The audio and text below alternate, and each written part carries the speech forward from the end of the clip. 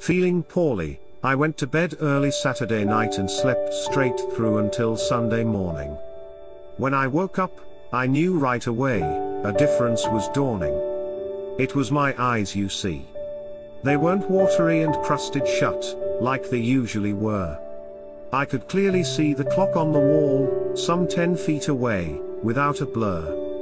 Not having to blink a dozen times and wipe away the green, glue-like gel, that normally clouds my vision, I could plainly tell, that it was 8.15. With not one single pain, I put my feet on the floor, and sprang up from the mattress, quicker than a jack in the box. The numbness and soreness of the soles of my feet, was gone and for once, I didn't feel as if I were walking on hot rocks. And what a joy it was to sniff the air. My poor nose, which is always at least half blocked, was clear. Two nostrils had I, a perfect pair. I was not a mouth breather, for the first time in many a year. With the stitch in my side, the limp in my stride, both gone away like the tide, I walked briskly to the bathroom. For the first time in recent memory, I did not feel that I was just a step from my grave. To the bath I went, not to sit and groan, but to shave. And what a process that had become, more like a barroom brawl, what with the blood and all.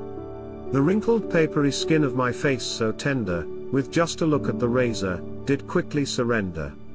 With every scrape to the head, the blade would turn red, as I bled. But, not on this special Sunday, when things were different, in every way. I slung the blade like this and that, and mowed down every whisker, as if I had a magic hat.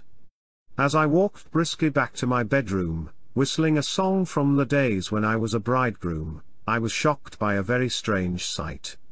While I was shaving, and getting ready for a new life, something took to my bed, and it was not my late wife. There was a body there, and it had spent the night. I crept up close and discovered to my shock, that the lifeless, wrinkled old form, was me. But I'm standing up tall and looking at it, so how can it be? It a moment, the understanding, came to me, and I smiled, because now, I am free.